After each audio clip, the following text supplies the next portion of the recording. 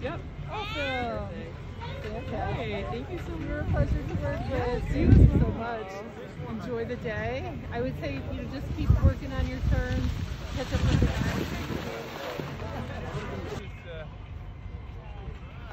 Put your foot on one. Put your weight on one.